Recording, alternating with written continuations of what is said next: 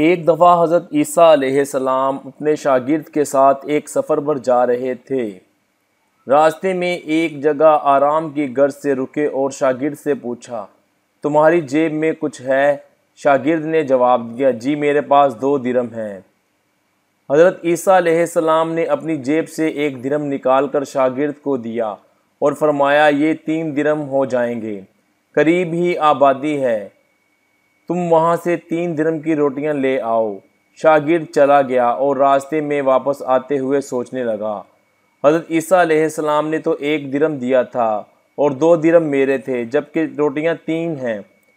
इनमें से आधी रोटियाँ हज़रत ईसा सलाम खाएँगे और आधी रोटियाँ मुझे मिलेंगी। लिहाजा बेहतर है कि मैं एक रोटी पहले ही खा लूँ। चुनाचे रास्ते, चुनाचे उसने रास्ते में एक रोटी खा ली और बाकी दो रोटियाँ लेकर हज़रत ईसा सलाम के पास पहुँचा।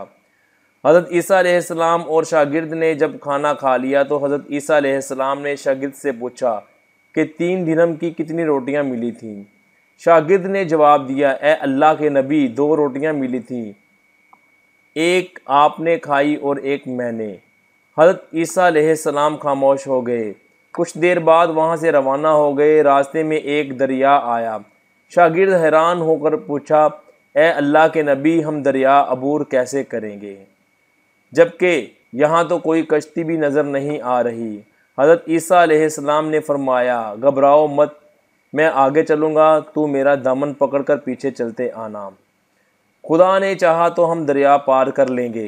चुनाचे हज़रत ईसा सलाम ने दरिया में कदम रखा और शागिर्द ने भी उनका दामन थाम लिया।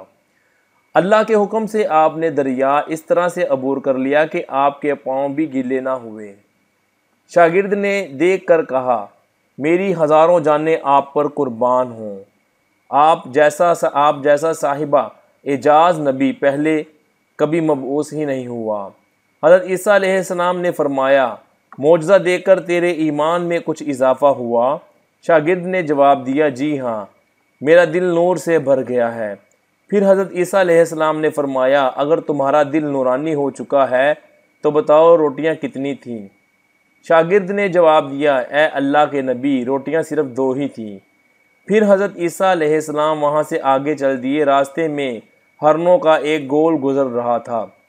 हज़रत ईसा ने एक हिरन को इशारा किया तो वो आपके पास चला आया। आपने उसे ज़िबा करके उसका गोश्त खाया और शागिर्द को भी खिलाया। जब दोनों गोश्त खा चुके तो हज़रत ईसा सलाम ने उसकी खाल पर ठोकर मारकर कहा, अल्लाह के हुक्म से ज़िंदा हो जा। हिरन ज़िंदा हो गया और वापस दूसरे हिरनों से जा मिला। शागिर्द ये मुआवजा देकर हैरान हो गया और कहने लगा, अल्लाह का शुक्र है कि जिसने मुझे आप जैसा नबी और उस्ताद अता फरमाया। हज़रत ईसा ने फरमाया ये मुआजा देख कर तुम्हारे ईमान में कुछ इजाफा हुआ। शागिर्द ने कहा ए अल्लाह के नबी, मेरा ईमान पहले से दुगना हो चुका है।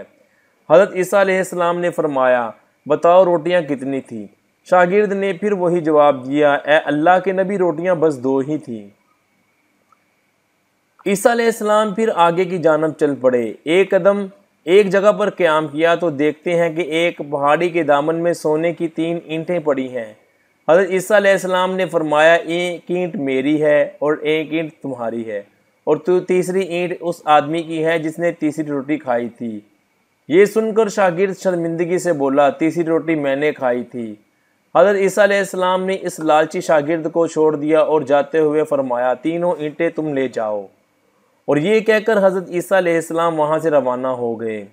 अब लालची शागिर्द ईंटों के पास बैठकर ये सोचने लगा इन्हें कैसे घर ले जाया जाए? इसी दौरान कुछ डाकुओं का वहाँ से गुजर हुआ। उन्होंने जब देखा कि एक शख्स के पास सोने की तीन ईंटें हैं तो उन्होंने उसे कत्ल कर दिया और आपस में कहने लगे कि ईंटें तीन हैं और हम भी तीन हैं। लिहाजा हर एक शख्स के हिस्से में एक एक ईंट आएगी। इतफाक से वो तीनों डाकू भी भूखे थे। उन्होंने एक साथी को पैसे देकर कहा कि शहर करीब ही है, तुम वहाँ से रोटियाँ लेकर आओ और खाना खाने के बाद हम अपना अपना हिस्सा तकसीम कर लेंगे। चुनाचे वो शख्स रोटियाँ लेने गया और दिल में सोचने लगा, अगर मैं रोटियों में जहर मिला दूँ तो बाकी दोनों साथी मर जाएँगे और मैं तीनों ईंटों का अकेला मालक बन जाऊँगा। जबकि दूसरी तरफ़ इसके दोनों साथियों ने आपस में मशवरा किया कि हम, अगर हम अपने साथी को कत्ल कर दें तो हमारे हिस्से में डेढ़ डेढ़ ईंट आएगी। जब इनका तीसरा साथी जहर आलूद रोटियाँ लेकर आया तो उन्होंने मंसूबे के मुताबिक इस पर हमला करके इसको कत्ल कर दिया। कत्ल करने के बाद उन्होंने खुशी में सोचा कि अब खाना खा लें। हमें खाना भी ज़्यादा मिल गया और सोना भी। फिर उन्होंने रोटियाँ खाई तो वो दोनों भी जहर की वजह से ही मर गए, वहीं मर गए। फिर जब वापसी पर हज़रत ईसा इस्लाम इसी रास्ते से गुज़रे तो देखा कि ईंटें वैसी की वैसे रखी हैं, जबकि पास चार लाशें पड़ी हैं। आपने ये देखकर ठंडी सांस भरी और फरमा दिया और फरमाया, दुनिया अपने चाहने वालों के साथ यही सलूक करती है। दोस्तों, हमेशा हम पढ़ते हैं कि लालच बुरी बुला है और जो झूठ बोलता है वो हमेशा ख़राब ही होता है और उसको, उसके गुनाह की सज़ा मिल जाती है। झूठ बोलने वाला कभी कामयाब नहीं हो सकता और जो लालच करता है वो भी कभी कामयाब नहीं हो सकता।